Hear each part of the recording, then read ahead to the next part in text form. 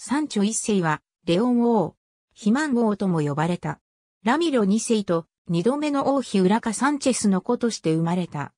951年に、イボニー・オルドーニョ三世が即位すると、自らの王位継承権を主張して対立した。956年に、オルドーニョ三世が急死したため即位したが、わずか2年後、サンチョが極度に肥満していることを理由に、フェルナン・ゴンサレス率いるレオン貴族、カスティーリャ貴族によって退位させられ、いとこにあたるオルドーニョ4世が即位した。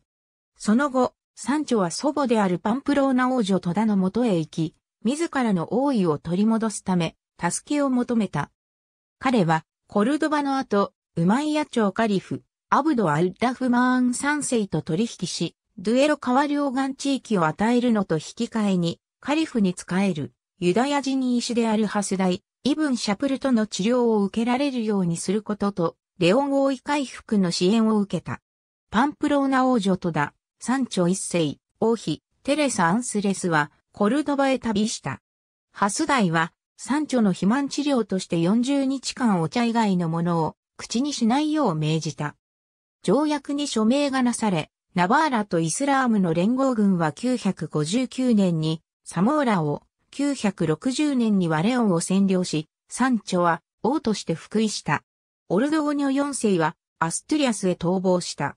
サンチョ1世はイスラム教徒との間で結んだ契約のほとんどを忘れたため、この時期には起きないものの、イスラム教徒はオルドーニョ4世を支援する襲撃に加わった。彼の治世の最後には、貴族の反乱が起き、カスティーリャ貴族やガリシア貴族の独立性が強まることとなった。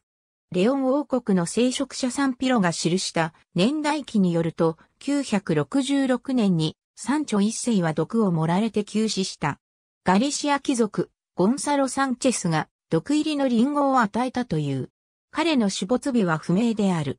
959年3月以前にモンソン伯アンスル・フェルナンデスの娘テレサと結婚、ラミロ3世と裏カを設けている。ありがとうございます。